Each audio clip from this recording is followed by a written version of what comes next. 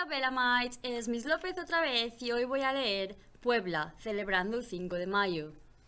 Hello Bellamites, it's Mrs. Moore here and I'm going to be reading the same story, Puebla, celebrating the 5th of May. Despiértate, Frida. Al fin es el 5 de mayo, gritó Emiliano. Wake up, Frida. At, at last, it's May the 5th, Emiliano shouted.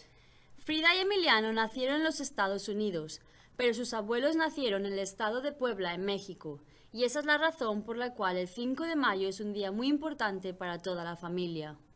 Frida and Emiliano were born in the United States, but their grandparents were born in the state of Puebla in Mexico, which is the reason why the 5th of May is an important day for the whole family. Mamá, ¿a dónde está mi traje del general Ignacio Zaragoza? preguntó Emiliano. Mum, where is my General Ignacio Zaragoza suit? Emiliano asked. Está en el armario, respondió mamá. It's in the closet, Mum answered. Apresúrate, no quiero que lleguen tarde a la escuela. Hurry, I don't want you to be late for school. Yo estoy listo, gritó Frida. I'm ready, shouted Frida. ¡Vámonos! Ya quiero llegar a la escuela para invitar a mis amigas Violeta y María a nuestra celebración del 5 de mayo. Let's go. I want to get to school so I can invite my friends Violet and Mary to our 5th of May celebration.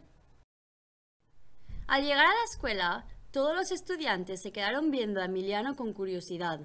Upon arriving at the school, all the students looked at Emiliano with curiosity.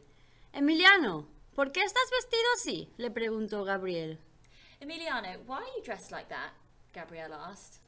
Porque soy el general Ignacio Zaragoza, respondió Emiliano levantando su espada de madera. Because I'm Gen- General Ignacio Zaragoza, replied Emiliano, raising his wooden sword. Remember that today is the 5th of May. Recuerda que hoy es 5 de mayo. Tienes razón, hoy se celebra el Día de la Independencia de México, anunció María. You're right, today is Mexican Independence Day, announced Mary. No, el Día de la Independencia de México se festeja el 16 de septiembre, aclaró Frida. No, Mexican Independence Day is celebrated on the 16th of September, clarified Frida. El 5 de mayo celebramos la victoria ante el ejército francés, quienes trataron de invadir México en 1862. On the 5th of May, we celebrate the victory against the French army who tried to invade Mexico in 1862. ¿Y en dónde sucedió esta batalla? preguntó Violeta.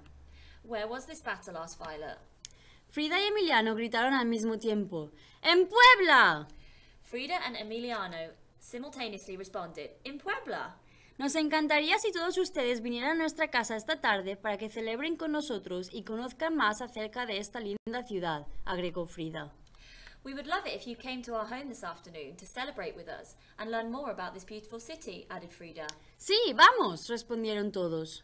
Yes, let's go, they all replied. Bienvenidos, dijo Emiliano. Welcome, said Emiliano. Qué bueno que vinieron. Les quiero enseñar el álbum de fotos de nuestro viaje a Puebla. I'm glad you came. I want to show you the photo album of our last trip to Puebla. Vean qué gloriosa es la ciudad y cómo se ha transformado.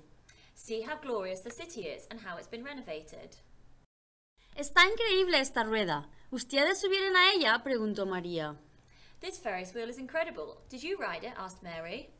Sí, se llama la Estrella de Puebla y es la rueda de observación transportable más grande del mundo, respondió Frida. Yes, it's called the Star of Puebla, and it's the largest transportable observation wheel in the world, Frida replied. Arriba puedes ver todo Puebla. At the top, you can see all of Puebla. Emiliano le dio la vuelta a la hoja y les dijo, aquí estamos en los fuertes de Loreto y Guadalupe, los cuales fueron usados por los poblanos para defenderse durante la batalla del 5 de mayo. Emiliano turned the page and said, Here we are at the forts of Loreto and Guadalupe, which were used by the poblanos to defend themselves during the Battle of the 5th of May. En ese momento llegaron los abuelos de Frida y Emiliano. At that moment, Frida and Emiliano's grandparents arrived. Abuelito José, cuéntanos la historia de la batalla de Puebla, pidió Frida. Abuelito Jose, tell us the story of the Battle of Puebla, requested Frida. Claro, con mucho gusto, respondió abuelito José. Of course, with pleasure, responded Grandpa Jose. Durante esa época, el gobierno de México estaba muy pobre y no podía pagar todo el dinero que le debía a España, Francia e Inglaterra. During that time, the government of Mexico was very poor and could not pay all the money it owed to Spain, France, and England. A Francia no le gustó eso y les declaró la guerra. France did not like that and declared war on them. No es que no me guste ver sus fotos, murmuró Leonardo, pero mi estómago ya me gruñe de hambre. It's not that I don't enjoy seeing your photos, mumbled Leonard, mumbled Leonard, but my stomach is growling with hunger. Justo en ese mismo momento entró la mamá de Emiliano y Frida. Just at that moment, Emiliano and Frida's mum entered. Everyone come to the dining room. Vengan todos al comedor. Les he preparado mole poblano y toda una mesa llena de dulces típicos. I prepared mole poblano and a table full of traditional candies. Vengan y pruébenlos. Come and give them a try. Muchas gracias, exclamaron todos juntos. Thank you, they all exclaimed. En mis siguientes vacaciones voy a ir a Puebla, exclamó Violeta. For my next vacation, I'm going to Puebla, exclaimed Violet. Podemos ir todos juntos a las nueve pueblos mágicos del estado, dijo Frida. We can all go together to the nine magic villages of the state, said Frida. Son hermosos y es obvio que Puebla sigue con el progreso.